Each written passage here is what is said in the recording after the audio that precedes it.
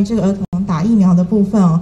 那因为这个呃，指挥中心陈时中部长刚刚有讲说，是昨天才突然宣布这个儿童疫苗 BNT 疫苗采购的消息，说他们第一时间能够得到什么疫苗，中央也不知道。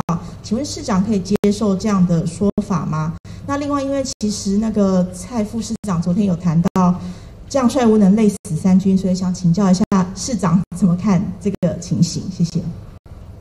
呃，小朋友哈是我们国家未来的主人翁，所以不能不知道。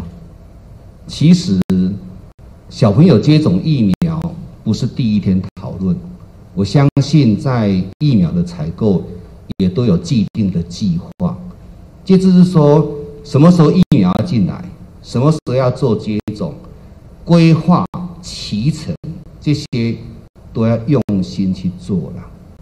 不是说有什么疫苗就打什么疫苗，就会碰到现在的困境。所以我想最重要还是你有没有用心在小朋友身上。小朋友接种疫苗是何等重要的事，我们有没有真正的去思考到要如何做才能够让家长放心？家长的选择权你有没有纳入考量？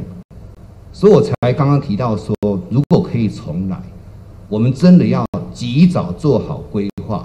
地方在执行上，我们一定要做到最好。但是有关疫苗的脐程、接种这些，还是要全国一致性。所以我想，我们都是用最用心的来看待这个事情。我们没有人可以不知道。谢谢。